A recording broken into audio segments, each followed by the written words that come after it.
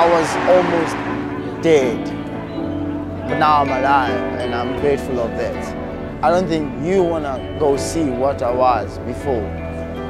I always tried to make it myself, but I couldn't. But uh, in grace of God, He helped me out from that.